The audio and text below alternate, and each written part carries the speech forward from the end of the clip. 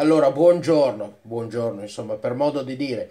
Mi raccomando, iscrivetevi al canale che domani facciamo un punto sulla Fiorentina, seguiamo le possibili evoluzioni, commentiamo tutto e adesso ci troviamo a commentare un risultato, un ennesimo risultato devastante, un qualcosa di, di, di, di anche, cioè questo 1 a 4 è un risultato che va anche al di là di quello che abbiamo visto di negativo in campo.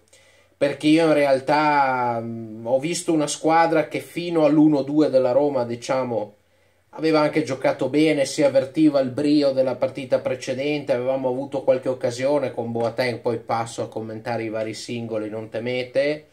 Abbiamo subito questo 1-2 della Roma, abbiamo pareggiato, siamo andati a riposo anche con una buona lena, diciamo, con una buona speranza, vogliamo chiamarla così, di, di, di poterla pareggiare, forse ipoteticamente.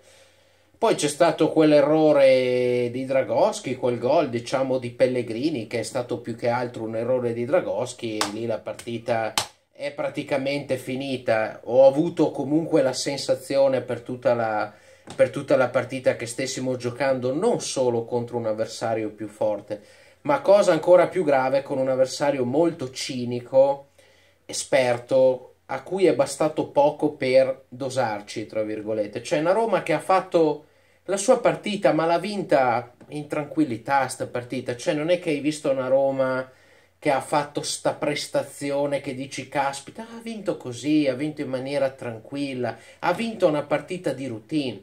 Cioè è stato un 1 a 4 di routine per la Roma ed è da questo, che, da questo e altro che poi analizzerò in questo video che capisci che c'è stato un divario tecnico devastante. C'era in campo e giocavi contro la Roma, non è che giocavi contro la Juve, contro l'Inter, un divario tecnico devastante, specie a centrocampo.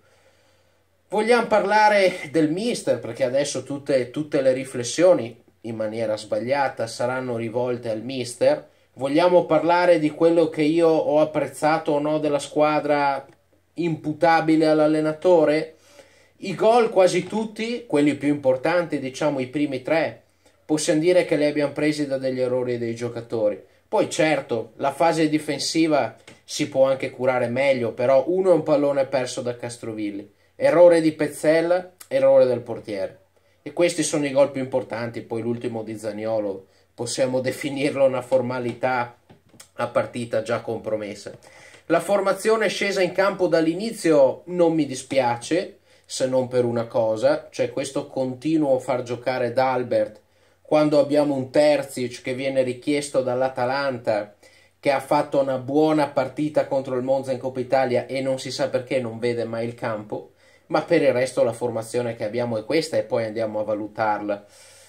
Mm, ecco, non mi, non mi, è piaciuta la gestione dei cambi, questo sicuramente no, perché hai fatto per primo un cambio che potevi fare per ultimo, cioè quello di Pedro, Sottile è entrato troppo tardi, quando potevi tranquillamente togliere Boateng per far entrare lui, e per il resto la squadra, ragazzi, a livello mentale, cosa vuoi imputare? La squadra non era neanche scesa in campo a livello mentale in maniera negativa, è stata in partita, per, per diver... è stata in partita a livello mentale, attenzione, tecnico quasi mai, ma a livello mentale la squadra è stata in partita per diverso tempo. Poi è una squadra di giovani, è una squadra che è fragile, che in un momento del genere e diventa difficile, diventa difficile rincorrere, specie quando davanti hai una squadra molto più tecnica e più forte della tua e poi le paghi. L'1 a 4 l'hai preso perché la squadra era sbilanciata. Il risultato, secondo me, è un po' troppo ampio. È un po' troppo ampio. La Roma ha meritato la vittoria perché se voi andate a vedere i numeri, possesso palla, tiri, tutto quanto è una vittoria meritata. Secondo me, comunque, il risultato un po' troppo ampio, figlio di quella che è stata l'evoluzione della partita. Andiamo a valutare i singoli. Dragoschi, ragazzi, Dragoschi a me spiace perché criticare un portiere non è come criticare un terzino, un centrocampista, è un ruolo molto delicato. Ma io vi dico, è giovane, per carità, a parte che ha fatto anche lui de- delle scenate estive che me l'hanno fatto già scendere quest'estate, se vi ricordate. Ma a me i portieri che fanno una parata da fenomeno e poi non ti danno certezze, il portiere deve dare certezze. Il portiere deve dare certezze. Purtroppo Dragoschi da inizio stagione ad oggi certezze non te ne ha date. Ti ha fatto vedere ottimi numeri, ma le certezze sono un'altra cosa. Non è fare una partita da 8, una da 4, un numero da 10, un numero da 3 e fare partite da 6, 6 e mezzo, 6, 6 più, 6 meno, 6 e mezzo, 5 e mezzo, 6 e mezzo, 6, 6, 6 e mezzo. Questo è il portiere migliore, non uno che fa eh, numeri da fenomeno e poi si perde e spesso questo succede. La difesa oggi Pezzella se con l'Inter mi era piaciuto oggi ha almeno ha, ha, dei, ha degli sbagli sulla coscienza anche Caceres ultimamente purtroppo sta un po' calando Milenkovic segue l'andazzo della squadra. Oggi Lirola, ecco, Lirola non mi è dispiaciuto, è un lieve crescita da qualche partita, ma il livello, ragazzi, è questo. Pulgar, ba- cioè stiamo a commentare la prestazione di chi? Di Pulgar, di Badel, di Boateng. Sono stanco, spero si sia capito quello che, che si è sempre detto su questi giocatori, su questa squadra.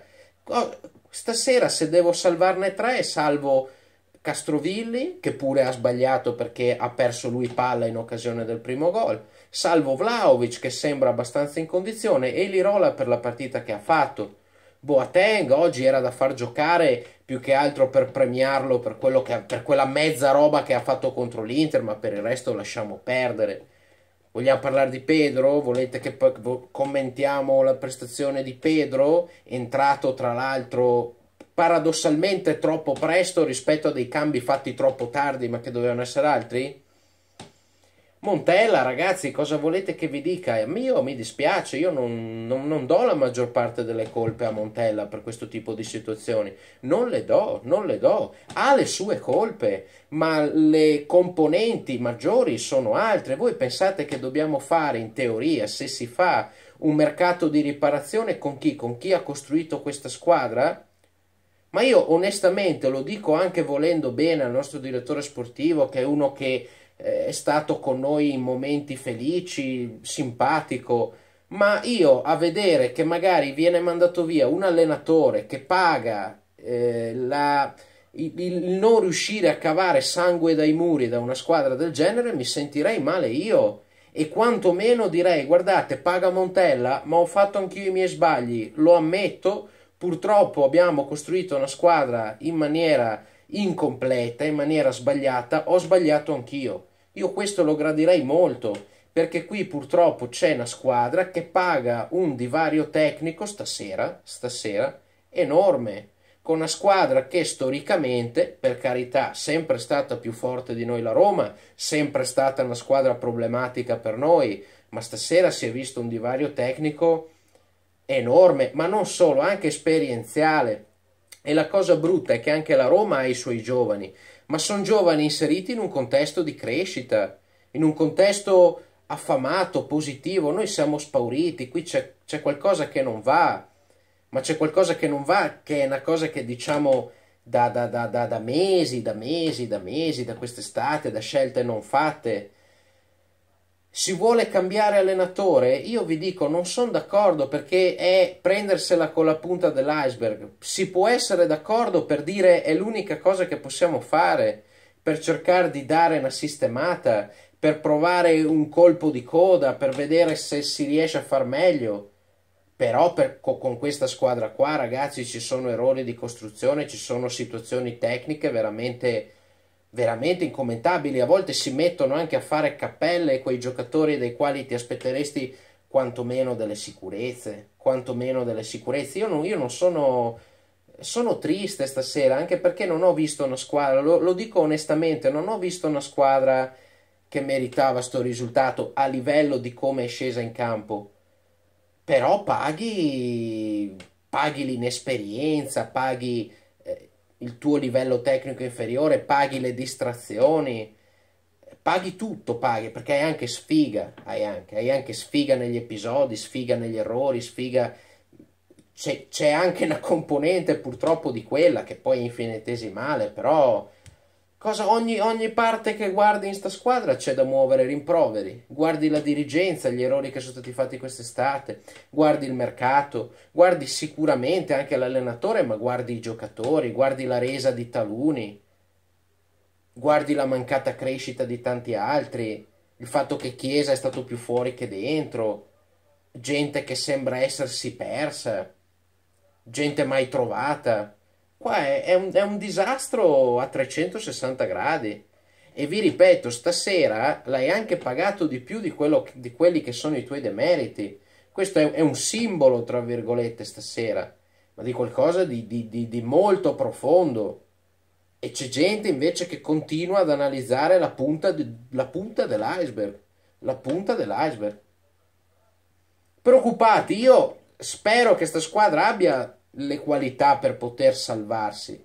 Tecniche secondo me le ha anche a livello di calendario. Stasera e domenica hai affrontato due squadre molto più forti di te. Vediamo cosa succede. Se qualcuno può dare una scossa, ma qui ripeto, mh, mm, vi invito a, a non fossilizzarvi sulla punta dell'iceberg, ma su tutto l'iceberg. E sott'acqua c'è tanto, sott'acqua c'è tanto. Caro saluto, iscrivetevi.